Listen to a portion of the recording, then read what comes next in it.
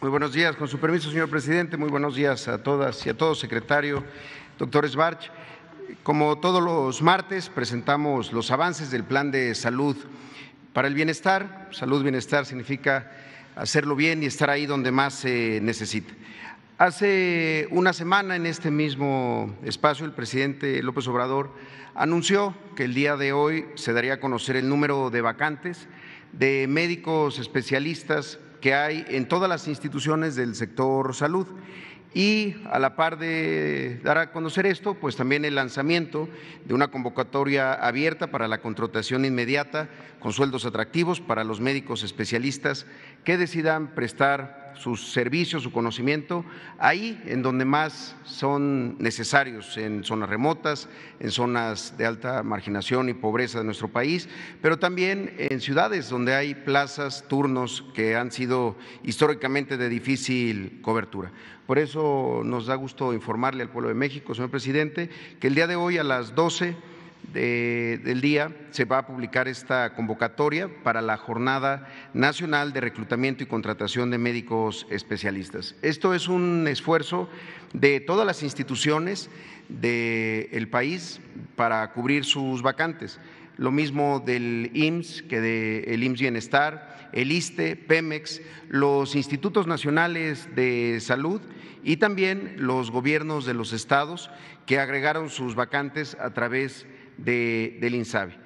Eh, la página www.médicosespecialistas.gov.mx eh, este, está publicada la, la, convocatoria que va dirigida a médicas y médicos especialistas eh, y esto siempre apegado a los principios de legalidad, de transparencia, de eficiencia, objetividad, calidad, imparcialidad y también de equidad de género. Si podemos pasar la, la siguiente.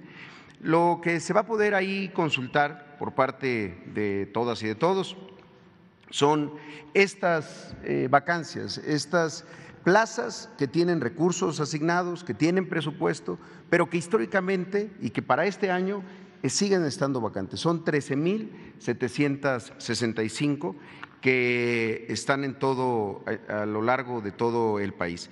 5.252 de estas eh, vacantes corresponden a sistemas de salud estatales de los 15 estados justamente en donde el plan de transformación, el plan de salud bienestar se está llevando a cabo este año. Solamente quiero darles un par de, datos de estas eh, vacantes. Si tomamos las cinco especialidades donde los, las instituciones tenemos más, más necesidad, si lo pueden ver eh, ahí, médico internista es la número uno, con 1.753 vacantes, médicos urgenciólogos con 1.728, ginecología y obstetricia 1.572, pediatría también con 1.517, anestesiología 1.367. Justamente coinciden Muchas de estas especialidades, sobre todo urgencias, los internistas o los anestesiólogos, de las que se dejaron de formar históricamente en los últimos años. Se dejaron de formar muchos de estos especialistas que son los que más necesita el sistema de, salud. Desde luego todas las especialidades son importantes, pero estas, urgencias, anestesia, son de las que se dejaron de hacer sedes, se dejaron de hacer, eh, de dar becas y que justamente, como se ha presentado aquí también, se ha ido recuperando esta capacidad de formar a, estos médicos de estas especialidades. También, simplemente de estas cinco especialidades está el 57% de la, de la necesidad y sabemos, por la información que se cuenta, que hay muchos médicos de estas especialidades que pueden estar buscando eh, cómo, cómo, trabajar para el sistema de, de salud. También es importante decir que hay estados como Veracruz, por ejemplo, o Michoacán que tienen un número, que concentran un número importante de la, de la necesidad. Y también comentarlo de, por instituciones, eh, INSABI, tiene 8.272 de estas vacantes, que son las que hacen falta en los estados. Nos informó Insabi que fueron 29 estados los que mandaron sus, eh, sus necesidades. le sigue el Seguro Social en su régimen ordinario con 2.588, el IMSS Bienestar con 1.765, Pemex con 133 y la Comisión Coordinadora de los Institutos Nacionales de Salud y Hospitales de Alta Especialidad con 28 eh, vacantes. Si podemos ver la, la siguiente. ¿Cómo va a eh, eh, hacerse esta convocatoria? Los médicos especialistas, médicas especialistas de todo el país van a poder ingresar a esta, a esta página para hacer el proceso de registro, con, completando datos eh, generales, su nombre, eh, la CURP, eh, un RFC y un correo electrónico y la contraseña para que generen un, un usuario, un número de, usuario. Ya con ese usuario que se les manda por correo electrónico, van a poder acceder a la, a la plataforma. Se pueden pasar la siguiente para y, y se puede ir viendo ahí eh, cómo, cómo, es todo este, todo este proceso. Una vez que ingresan a la, a la plataforma con su usuario y, contraseña, van a poder ingresar el resto de la información, cuál es su especialidad, la cédula de esta especialidad. Bueno, aquí está desde, desde el inicio, ingresan a médicos especialistas, ahí eh, se le pide que ingresen al registro, ahí este, esta información va a estar pública para todas y para, para todos ingresan al registro, generan su usuario y generan su, contraseña. Se le piden estos datos, nombre completo, apellido paterno, materno, la CURP, el RFC y un correo electrónico para poder entrar en, contacto. Además de la especialidad que tienen y el, lugar de residencia eh, actual. A partir de esto, se, se, guarda, se genera este, este mensaje en donde se le anuncia que se creó una cuenta exitosa y se envía un correo electrónico que eh, le llega a los, a los postulantes. Ya con este correo electrónico vuelven a ingresar para ya eh, eh, poner su número de usuario y aquí eh, empezar a, llenar el resto de los datos. Se precargan los que habían cargado, los que habían dado pre previamente y se pide otra información, el domicilio, los datos de contacto, el grado de estudios y seleccionan la especialidad. Y también ahí, eh, importante decir que tienen que poner su cédula. En el caso de que de muchos médicos que no tienen tramitada su cédula, se puede poner en, en cuadro y la Secretaría de Educación Pública nos ha manifestado que agilizará el proceso para generación de la cédula. A partir de esto se va a hacer un registro exitoso y se genera un nuevo correo electrónico con el número de, folio que confirma ya este, este registro. Si pueden pasar a la siguiente. Posteriormente eh, se va a hacer esta eh, convocatoria que estará abierta, hay que decirlo, a partir del día de hoy y hasta el día eh, último, en el último minuto del viernes 3 eh, de junio estará abierta la, la convocatoria. El día eh, martes 7 de junio, en este mismo lugar, vamos a presentar los resultados de esta eh, convocatoria. Y ese mismo día, el martes 7, se van a generar las invitaciones por correo electrónico para cada uno de estos médicos y médicas para que acudan a las 32 sedes que se van a instalar el 11 de junio, sedes de recepción de toda la documentación. Y no solo de recepción, ahí estaremos todas las instituciones que estamos eh, buscando a los médicos especialistas para que puedan iniciar ya sus procesos de contratación. Se van a presentar ahí todas las, eh, las opciones que pueden tener. Por eso es que en, el segundo, en la segunda etapa el médico le estamos pidiendo que nos diga directamente a partir de su especialidad cuál es la, la, unidad en donde quisiera laborar y tener tres opciones. Por unidad ya se incorpora pues en qué estado y también en qué, en qué municipio se encuentra esta localidad, además del turno que está, que está vacante, ya sea el turno matutino, el vespertino, el del el turno nocturno, la jornada acumulada, homologado esto en cada una de las diferentes eh, instituciones.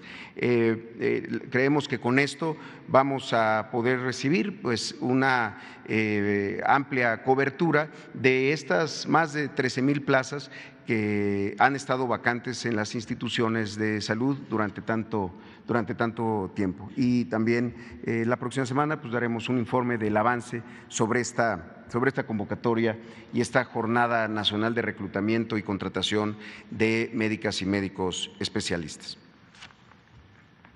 También queremos informar el día de hoy que concluimos el levantamiento, como se informó, en San Luis Potosí. Agradecerle al Gobierno del Estado, al gobernador Ricardo Gallardo, porque hemos trabajado de, la mano en estas visitas a 303 unidades de primer nivel, 13 hospitales de segundo nivel y dos hospitales de tercer nivel. 95 personas eh, del sector salud participaron en 14 equipos de trabajo y estos son los primeros resultados que tenemos. Si nos pueden pasar la siguiente. Eh, se encontró necesidades importantes en el reordenamiento de las plantillas, como lo podemos ver, hay necesidades de personal, 517 médicos y médicas, 1.063 eh, personas de enfermería que están vacantes y que hacen falta, como un, déficit de esta, de esta profesión, 190 de, de paramédicos. Y en términos de las necesidades de infraestructura, lo que hemos observado en otros lugares, unidades de cuidados intensivos, de cuidados especiales neonatales que hacen falta, eh, ocho, cuatro eh, espacios para urgencias en los propios hospitales, 31 eh, consultorios, 16 peines para laboratorios, lo mismo que residencias médicas y la necesidad de ampliar 13 módulos de atención hospitalaria. En términos del equipo, tanto de primer como de segundo nivel, lo que se observa también es que hacen falta 2.907 equipos en el primer nivel, equipos que son eh, desde fonodetectores de latidos fetales hasta estetoscopios y en el segundo nivel lámparas quirúrgicas, camas eh, quirúrgicas, eh, rayos, rayos X, incubadoras, camas, refrigeradores para en los mortuorios, en fin, hay una ah, carencia importante de equipo en el, en el segundo nivel de, atención.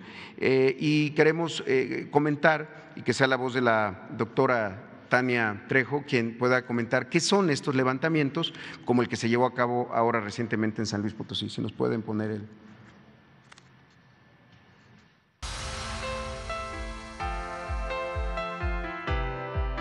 El levantamiento es la primera etapa de este proceso de transformación de los servicios de salud en el estudio que se está haciendo en las diferentes entidades. El levantamiento en San Luis Potosí inició del 2 de mayo y culminó el 17 de mayo. Se visitaron 318 unidades médicas de la Secretaría de Salud correspondiente 303 a primer nivel de atención, 15 entre las 15 de segundo y tercer nivel de atención. Podemos decir que ya tenemos un panorama de cómo se encuentran las unidades en cuanto a su infraestructura, cuál es su plantilla de personal, es decir, cuáles son sus necesidades eh, aquellas plazas de especialistas y subespecialistas que están vacantes, los turnos que se van a tener que cubrir en relación a médicos y enfermeras, eh, el estado que guardan las estructuras de las unidades y por supuesto el estado y condiciones del equipamiento de todo lo que es este equipo que se relaciona con la seguridad del paciente. Después de la etapa de levantamiento viene la concentración de la información y el análisis de la misma para obtener ya los resultados finales y el estatus eh, de inversión que se requerirá para que estas unidades cumplan con el modelo de atención del programa IS Bienestar y ofrezcan una atención de calidad y de seguridad en el paciente. Como nos lo indicó el presidente, son levantamientos de campo, son diagnósticos que se hacen eh, en el lugar eh, y no desde el escritorio. Eh, continuamos con los reportes, en este caso de los avances que hay en el estado de Tlaxcala, sobre todo en la regularización del personal. Aquí tenemos una meta de regularizar a 1.359 trabajadores que han tenido contratos eventuales, en algunos casos hasta por 12, 11 años, y pasamos de 638 a 947, por lo que el avance es del 70%. Se trata de 269 médicos, 580 enfermeras y 98 paramédicos. Si podemos pasar a la siguiente. También en el caso de Tlaxcala se ha estado trabajando ahora en las unidades de segundo nivel. Informábamos la semana pasada sobre los avances, las asambleas informativas en el primer nivel, pero ahora es un trabajo más específico y técnico, cerca de 50 asambleas informativas con cuerpos de gobierno para identificar y corroborar lo que en el levantamiento se, identificó como necesidades de equipo, infraestructura y recursos humanos. También se han capacitado en los 10 hospital, en 10 hospitales sobre el modelo de atención. Eh, también se ha hecho una revisión en 70% de las unidades de los consumos promedios mensuales de medicamentos para poder así calcular el abasto a partir de las recetas surtidas que se eh, emiten todos los días y que se completan satisfactoria o insatisfactoria también se tiene ya un inventario del almacén de la Secretaría de Salud y esta semana iniciamos con la instalación del sistema de administración de insumos para mejorar el control de entradas y salidas de medicamentos y de material de curación. También en los hospitales de Zacatelco, de Contla y de Calpulalpan y también en el de Sánchez Piedra se está fortaleciendo el diálogo con la base trabajadora sobre eh, las eh, características del modelo de atención y lo mismo en los hospitales de Guamantla, el Carmen y donde se inició la organización ya de los servicios, especialmente en la consulta externa. Eh, la siguiente, también tenemos un informe sobre esta jornada quirúrgica oftalmológica que se llevó a cabo en, en Nayarit. Eh, en nuestro país alrededor de tres millones de personas padecen padecen de cataratas y se estima que cada año se suman 140 mil, por eso estas jornadas eh, nos ayudan mucho a batir esos rezagos de personas que ya han sido identificadas y que estaban en espera de una cirugía. Esta se llevó a cabo en el Hospital de San Cayetano y ocurrió del, Dios, del 18 al 23 de mayo con 14 médicos especialistas provenientes de diferentes unidades, tanto de Morelia, de la Ciudad de México, de Guadalajara, de Torreón, de Bahía de Banderas, ahí mismo en Nayarit y de Veracruz. Si podemos pasar un video muy rápido sobre cómo fue esta jornada.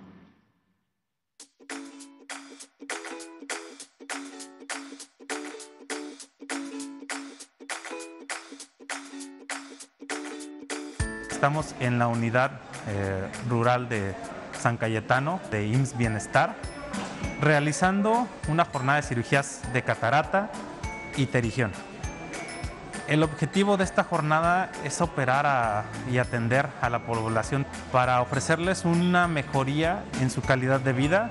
Contamos con equipos que normalmente se utilizan en hospitales de tercer nivel, es decir, de la más alta gama que existe y afortunadamente con equipos muy nuevos y muy novedosos. Venimos un equipo de oftalmólogos expertos, enfermeros y anestesiólogos para poder atender a más de 400 pacientes para ayudarles a recuperar su visión. Vengo de, un rancho llamado El Macho, municipio de Tecuala, Nayarit. Yo vine para operarme mi ojo de cataratas. Estoy muy agradecida de que nos atendieron muy bien los doctores, todo el personal. Estoy muy feliz porque mi ojo ya me quedó bien. En este sentido es importante decir que lo que se busca es que cada estado pueda ser resolutivo y, eventualmente ya no se tengan que hacer estas jornadas porque en los estados se tienen la capacidad, eh, los, médicos, los equipos para poder llevar a cabo este tipo de intervenciones eh, de manera eh, regular. Y finalmente queremos dar a, conocer sobre la eh, instalación de la mesa de transición en el estado de Colima. El secretario Alcocer y sus servidores estuvimos la semana pasada. Estas mesas de transición lo que buscan es eh, dar a conocer, eh, informar a autoridades de, de cada uno de los estados, lo mismo a los integrantes de los congresos estatales, las comisiones de salud, los presidentes municipales, el Poder Judicial, las universidades, las cámaras empresariales, los organismos sindicales, sobre el proceso y el estatus de su, de su avance. En Colima tuvimos una muy buena jornada, no solamente visitando los hospitales, sino también pudiendo eh, dar a conocer esto a, las autoridades, desde luego, eh, y a todo el personal de salud y encabezado por la gobernadora Indira Vizcaíno. Eh, podemos pasar a la siguiente. También tenemos una, un reporte sobre esto.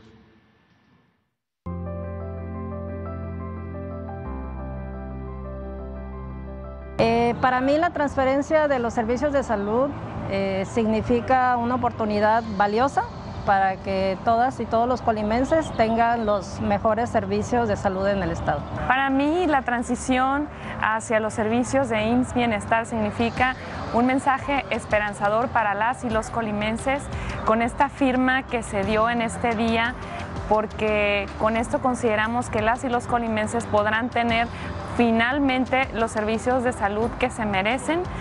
Para nosotros es un gran respaldo el saber que vamos a contar o que estamos contando con el apoyo del gobierno federal y con el gobierno del estado en cuanto al tema de salud. Eh, emociona mucho el hecho de saber que lo que hemos sufrido durante tantos años, alguien haya puesto ya eh, atención en esa área de oportunidad y que la intención sea precisa y únicamente mejorar esas, esas áreas de oportunidad que por años se han olvidado. En unos años espero que los servicios de salud puedan abarcar a toda la población, que ya no recibamos más quejas, que esto no lo volvamos a repetir en la historia. Que tengan confianza, es un programa que a nivel nacional ya se ha implementado en otros estados, que hoy estamos aquí eh, de vanguardia firmando esta transición y que confío en que la transición será para bien.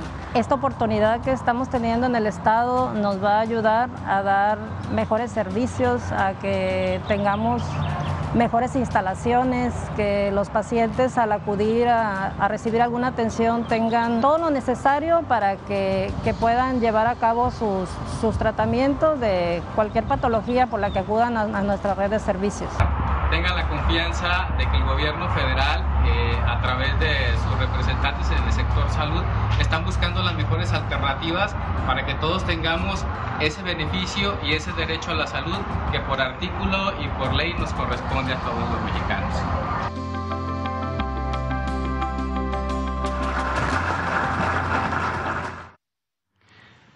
Bien, y por último, como muchos de ustedes eh, fueron testigos, el pasado 20 de mayo firmamos el convenio marco con el gobierno del estado de Sonora, con el gobernador Durazo, que, y este convenio nos va a ayudar mucho a poder instrumentar los compromisos en materia de salud que se tiene con, el gobierno de, Sonora. Y en particular, algunos acuerdos que se tomaron en esa jornada, que se dieron a conocer el propio eh, viernes y otros que se sumaron durante la gira del señor presidente, el del Hospital General de Hermosillo para que su entrada en operación sea el 15 de septiembre, el eh, memorándum para que el, hospital eh, anterior del general de, ahí mismo de Hermosillo, el doctor, el hospital doctor Ernesto Ramos Burs, pase a convertirse en un hospital universitario IMSS justamente para la formación de médicos especialistas, además de eh, cuestiones ya muy específicas respecto al Hospital General de Cananea, el Hospital de Tamosura, eh, además de las 10 unidades médicas que hay en esa zona de servicios y también sobre los avances del plan de justicia Yaqui, eh, sobre todo respecto a la construcción del hospital eh, en Bicam Switch, además de las diferentes unidades de primer nivel en, Loma de Bacum, en Loma de Guamúchil, en Torim, en Potam, en Uribis, en Uribis eh, que, tienen que estar listas para este, para este año. Fueron acuerdos eh, internos, tanto con INSABI, con el gobierno del Estado y desde luego con el Seguro Social para poder esto hacerlo realidad. También en el Plan de Justicia para el Pueblo Guarijío del sureste de Sonora, estamos con el compromiso de volver para eh, plantear cómo mejorar ahí los servicios de, de salud. Y eh, para concluir, insistirle, invitar a todo el pueblo de, Nayarit y próximamente de Tlaxcala a usar este teléfono, el 895-32-213, el teléfono del pulso de la salud, para que nos hagan llegar diferentes eh, situaciones que puedan tener respecto a abasto de medicamentos, a atenciones médicas que se puedan haber visto postergadas, a cuestiones incluso de trato, porque estamos generando folios para su solución de, manera eh, oportuna e inmediata. Será todo por nuestra parte, señor presidente. muchas gracias.